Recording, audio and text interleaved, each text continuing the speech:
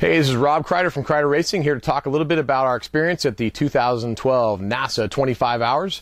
And uh, we luckily we were able to earn this patch here, the uh, I Survived the 25, which is uh, pretty exciting.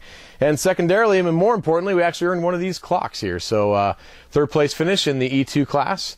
Uh, we did it on board with the uh, help of Brent Picasso and Autosport Labs, who gave us real-time telemetry from our cars gave us uh, actual locations of our cars on the track and speed and such. So that was very, very helpful, especially at one point when uh, I lost power to the car.